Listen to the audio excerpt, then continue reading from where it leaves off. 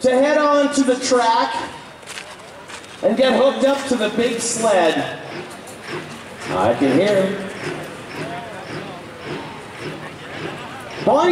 Alberta, Billy Cole has been pulling tractors and trucks for years and years and years. This truck was a regular on our circuit for years. He's kind of converted it to more of a performance fun truck. And tonight he's got a special rider riding along with him for his very first ride.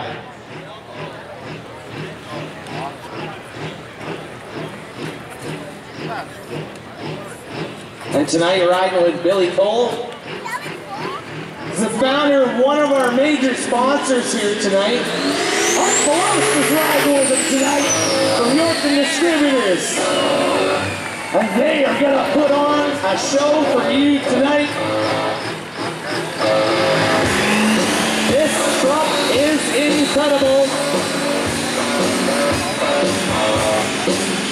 Beautiful, beautiful truck. And it's got one of them screaming jimmies in it. He's got about four turbos, blowers, and everything on this thing. This truck makes some horsepower. And you could have the chance to win a ride tonight on this truck. Buy your 50-50 tickets. Chance to go for a ride with Billy Cole. Right now, Art Belos is riding with him. And if you ever get a chance to get out to Art Belos's to go see his Super Tracks Museum just north of town, amazing.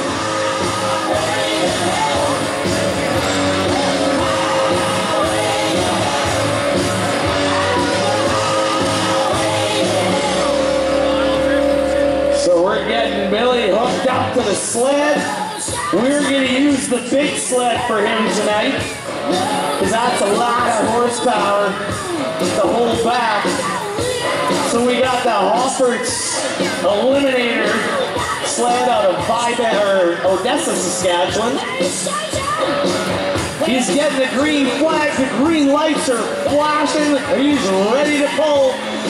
Billy Cole, Bonnyville, Alberta.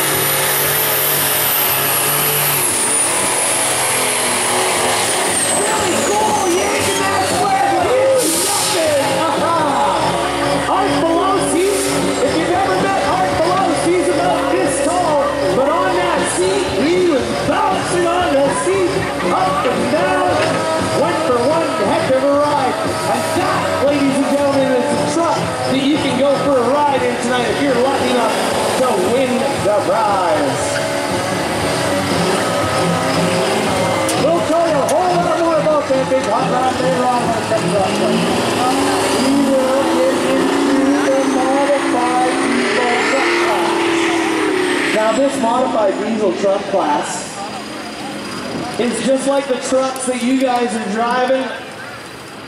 You can, you can be a part of this show too. The stock diesel trucks, we actually only have one tonight, I think. We have some severely modified diesel pickup trucks. But we've only got one stock one that we're going to be running, but we're going to get the big sled back. Because we hooked them to the big slab. We got a antique yanking away right here now there, we. Starting back from the over, it looks like. A little row crop. And uh, he's on your list here. Should be Harvey Kenner. 49 over 66.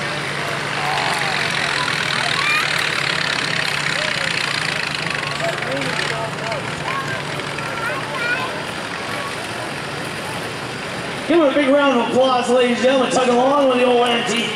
That is one neat little tractor for sure. It's called a row crop. If you look at the front axle, the front wheels are exactly the same width as the back wheels. So that's thinking straddle the corn, the potatoes, the turnips, whatever, and uh, that stayed in the rows. So it's called row crop. It's a, a good looking unrestored tractor. And we've got some amazingly restored tractors going to be coming up a little later on in the tug too. And you know, myself as an antique, I'd like to learn how to get restored too. there is no hope for us. All of those bad decisions that we made as young kids are starting to show. Oh, no doubt. Exactly. So we're going to start as, as uh, was mentioned here, we're going to start with a stock class, and there's only one stock diesel. Terry Tuttosi of Yorkton, I hope I said that right. Uh, 5.9 Cummins 2007 vintage, and this has got a stock 5.9 in it. So he's from the Olson Diesel team, and uh, Dallas will tell me about Olson Diesel. Actually, I'll be a good chance to do that. Yes, and Olson Diesel is one of our big sponsors here tonight. We absolutely appreciate it. Of course, we've got our Yorkton New Holland tractors, they are going to be very busy tonight. Anybody that volunteered up to drive them tractors say they're going to be busy because uh, every pole they're out putting the track back into the same shape. We've got an amazing track here, and we have to ask or take this opportunity to thank uh, Ray Belos, who built the track. He came in with his equipment, all of his big equipment, and built the track. And we have to thank Delwyn from Liebert Trucking. He brought this amazing clay, and I don't know where he was hiding it, but it's just like marshmallow. It's the best track that we've pulled on for years, and it really holds the horsepower. So last night, our pullers, they didn't really know what to expect, but they do tonight. So there's some tune-up changes, some weight changes, so we're gonna see a whole different race. Oh, I believe this is Steve Buckle, 56 Oliver, another row crop. Oh, Harvey Schroeder's driving. Oh, oh, yeah, he is. Okay, yes, sir, I see that. But it is Steve's tractor, I believe. So again, modified stock antique, modified as such as the Canadian flag. And uh, you gotta wear a cowboy hat when you're driving one of them. On Absolutely, and he's starting to yank the wheels already. Go, Harvey! Look at that wheelie. Yes. Nicely balanced. Yeah, well, and Harvey said he grabbed a burger from the uh, burger barn here before he started just to get the weight on the back wheels. Doing a heck of a job. Oh, right down to the barrel. yes, sir. Harvey Schroeder, ladies and gentlemen. Harvey was instrumental in getting all of our antiques lined up. And one of the most special ones that we're going to get to see tonight is sitting up over in the corner by the uh, the big sled there. We have an old Rumely that we're going to hook to the sled tonight too. 22 Rumely oil pull on steel. Big old twin. That's kind of what started the John Deere was an opposed piston twin. Yeah, and I hauled this thing in with our company, Bailey Boys Towing, and we had to go out to Atwater, Saskatchewan to pick this thing up. And when you look at it, it doesn't look that heavy, but that thing's heavy. Like it's every piece, there's no plastic in that one. And the steel grates, they got great big grouser bars on them. And that thing too, last night he ripped up the track pretty good with that thing. Very interesting unit, Rumely oil pull. Yeah, we're gonna get to see that a little bit later on. So they got some small issues with the uh, sled by the looks of it. They'll get it figured out. We've got the best guys on it. The Hoferts are uh, another one of our big teams that we have here tonight. They're from Odessa, Saskatchewan. They own Hoffert Services in Odessa, and they own these pull uh, sleds. The, the Hoffert family is synonymous with tractor pulling for like since the 70s. Uh, his dad and uncles, they all had tractors, and when Joe was growing up as a little kid, the, the sport kind of died off a bit. So they ended up uh, doing a little bit of repair and maintenance to some of the old ones. Joe got it all started up again.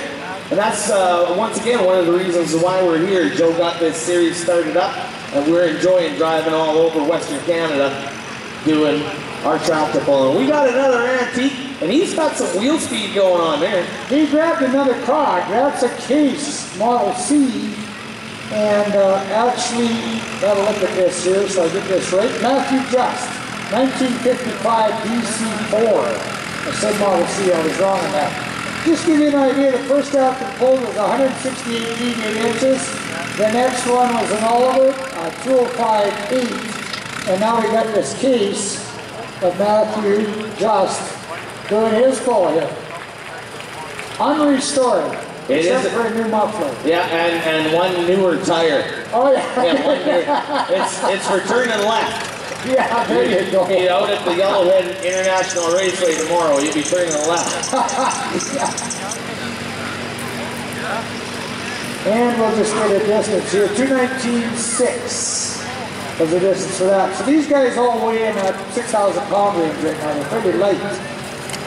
And once again, ladies and gentlemen, I want to thank the uh, Yorkton Fire Department for coming here tonight and keeping us safe. We always hope that we don't have to use them, but we're very thankful to have them here tonight and the uh, ambulance department too.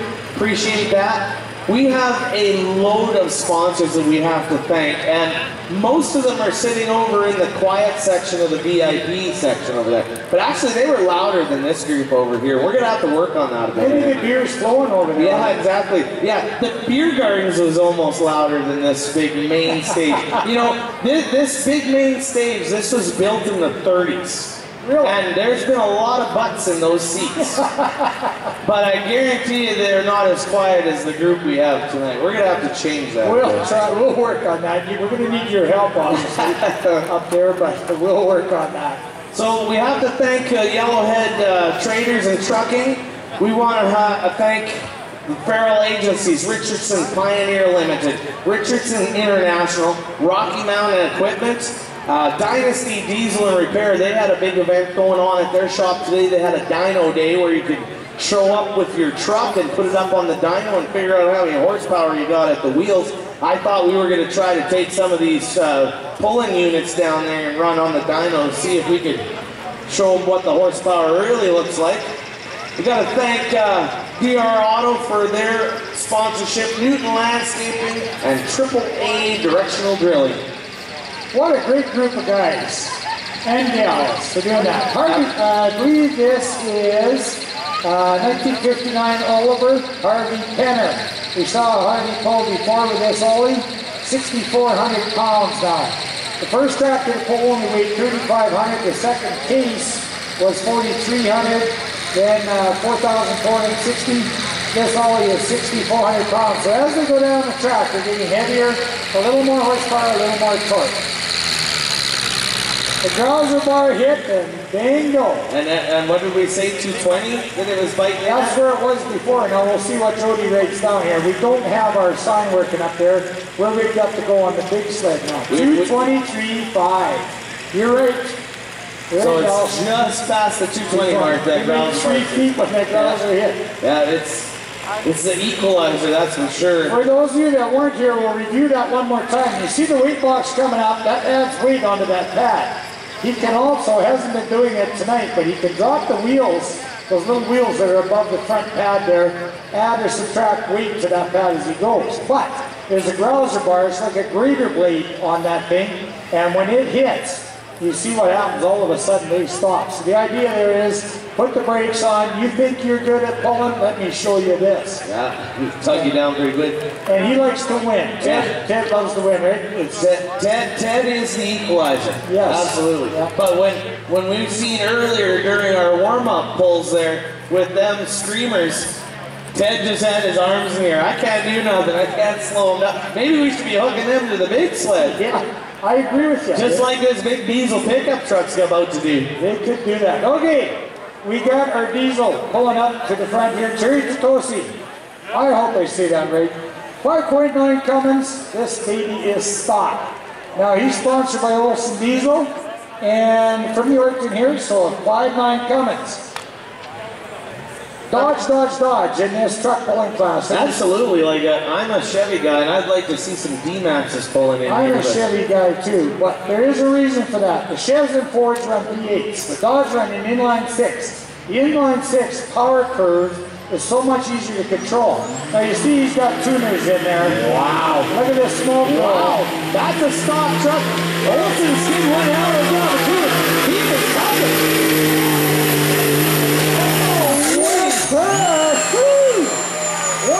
Oh, what a job! No wheel hop, you're right. Olson's did some work on that baby. And that's a daily driver, ladies and gentlemen. Wow. He probably plugged some tune into that. And yeah, that doesn't matter, but you know, if that is the stock class, I can't wait to see what we got in store. And you saw where the weight box was. What he was doing there, this rig has a ground on it too. Now, if you look as he's backing up, the wheels are down, the back of the pad is in the air. He can modify that sled exactly the same as the mini sled. But what a pull, what a hook. That's our only truck in that class. So guess what? He won. He won. He won that class. So Olson Diesel with the amazing tune-up in that thing. Fantastic job. Oh, looks like we got Harvey stole another tractor. Harvey's having fun out here, driving an Ollie this time. Should be uh, an Oliver 770. We'll see what it says on the side. They're, they're messing all this up. If it is the Ollie 770, Neil Weber's tractor. Yeah.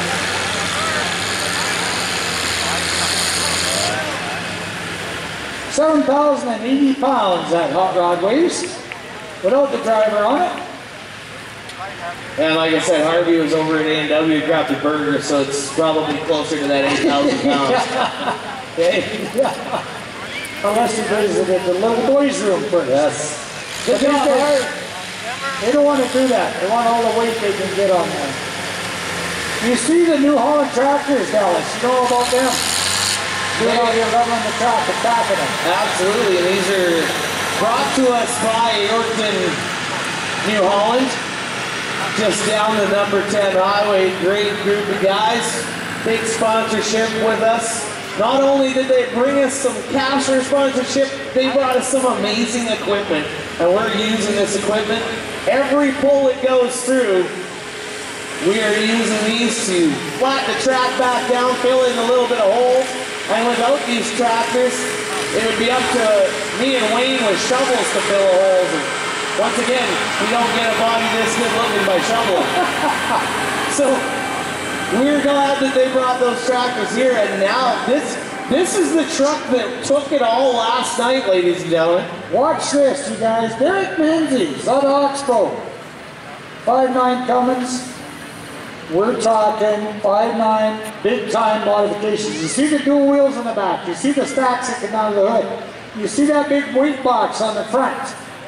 And we'll tell you about the weight box when he makes his pass. But suffice to say, big time boost, big time intercooling, big time fuel. He spools it up to get the turbo singing, gives a boost, adds some fuel. You'll tell that by the smoke. When he hits the fuel curve, right there, he's gone.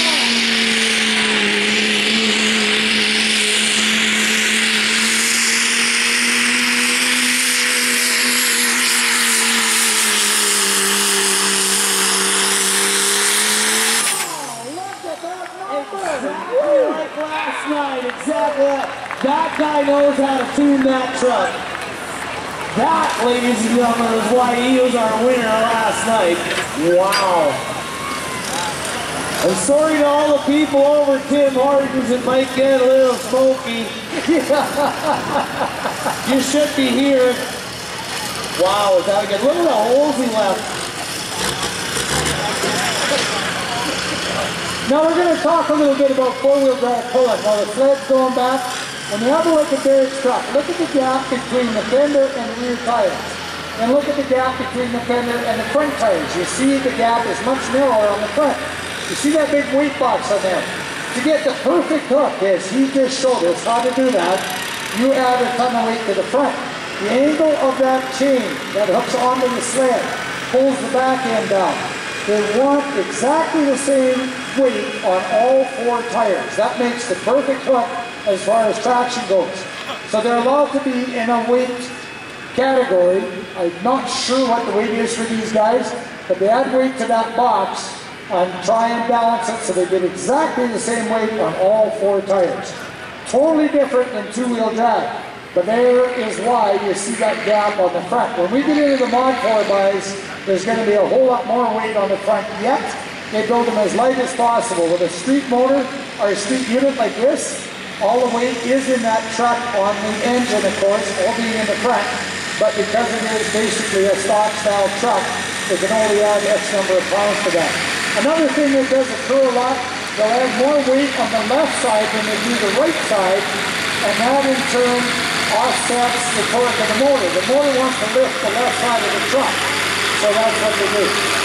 We got little Clayton Wilson working this McCormick. This is a this is the one that runs on the distillate. This is an amazing tractor.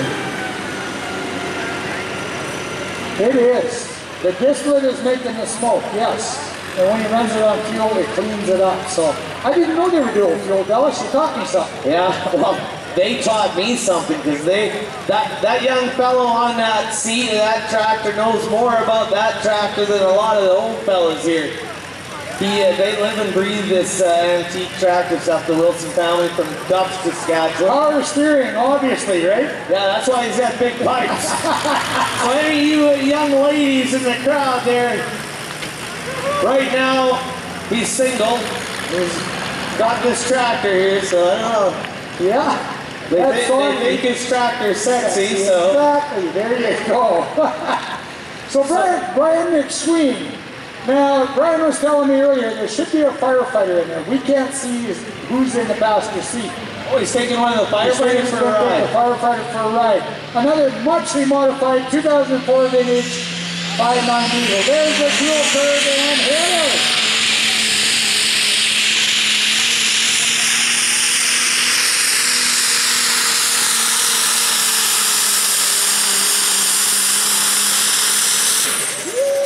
Wow, was that a tug? Seat. That was way better than last night. there was no firefighter in there. He told me he was going to do that, but obviously that didn't work, so we had talk about close. We saw Derrick Menzies crank a 353.16. Now look at the number, a 353.40. Wow! Three inches difference. Actually, two, two inches in the difference. Awesome. That is close pulling right there. Absolutely. And he's got them special pull tires on that one. He does. He uses big C-Tech, big point Dallas. Tires make a huge difference for these rigs as well. These have a chevron pattern. You look at the tread, we're going to be talking about that on a lot of the other units. Not the antiques. Now he's stuck. There we go. but those Chevy, uh, those chevron pattern are Dixie Tech pulling tires that built specifically for this. They don't have big lugs on them. See the little bit of dirt he left there? When you see a big lug tire come along, there's going to be like four times that amount of dirt. The more dirt in front of the sled, the harder it is to pull. So Dixie Tech made many small treads about a quarter of an inch deep. They sharpen them with an angle grinder, and that keeps a sharp edge. I, I seen them out in the pits doing that with an angle grinder. and They're sharpening the tires. Yes, so we got your the New Holland Platinum and them big ruts out that he left behind. We just had a little Massey pull through on our antique side. Don't forget, ladies and gentlemen, get your 50-50 tickets. Chance to win some cash. Chance to go for a ride with Crazy Billy Cole in that big red express truck. We're gonna make that draw just after the uh, intermission. We're gonna go about halfway through our show. We're gonna have about a 15 minute intermission. We're gonna give the fire department a ride in the monster truck and we're gonna see if we can get a couple of loads of people through with the monster truck too. While we get a chance to uh, convert our big sled up to handle the big horsepower. And when you got here, ladies and gentlemen, I hope you grabbed a program. They had programs for sale at the front gate. Just $3 for a program, but it's an excellent souvenir, and it's also something that you can take back with you tonight when we open up the pits and you get to go back and visit with the drivers and look at the tractors and the trucks. There's some amazing machines back there. And there's a paint jobs. Paint jobs are unbelievable. They're not stickers on a lot of those trucks back there. They're hand painted. And we got one nasty unit that's going to be coming up in our two-wheel drive class. It's called the Hunter, and he has one amazing paint job. All hand painted. You can kind of see his nose sticking up in the air. The light green on the side there. We got, that's my favorite class, two-wheel drive class. The big horsepower and, and wheels in the air. and excellent, excellent trucks, and trucks that I haven't seen in a long time are racing again. So we got another highly modified diesel truck coming up. We do, and Russ has been doing a heck of a job throughout the season anywhere I've been. Russ Leguee out of Weyburn. Now, we talked about all these 5.9 Cummins you saw there, and you saw the smoke. That means a ton of fuel, a ton of boost. Russ has got a 6.7 Cummins in this hot rod. 2008 vintage 3500 Dodge. Again, weight box the front, more weights on the left side. Spooling it up. You know the deal. There it is.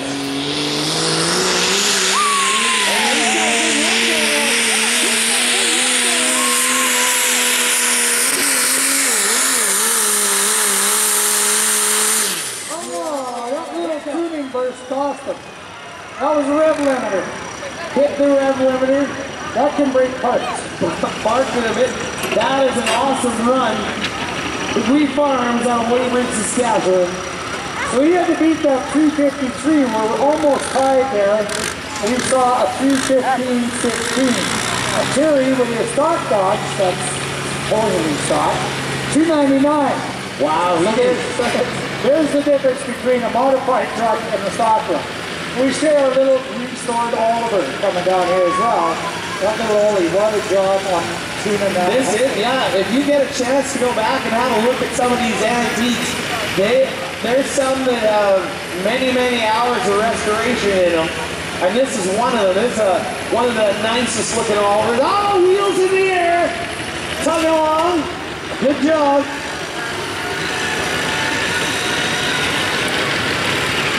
That means all that weight on that two-wheel drive was transferred to rear wheels. The angle of the, the chain on the sled is folded down. The hitch height has a big, big advantage or disadvantage depending on the height of that hitch. If the hitch is too low, it will not lift the front end, transfer the weight. If it's too high, they get such a gigantic wheelie going that all the weight ends up more on the sled than on the back wheels. So it's all about hitch height and it's all about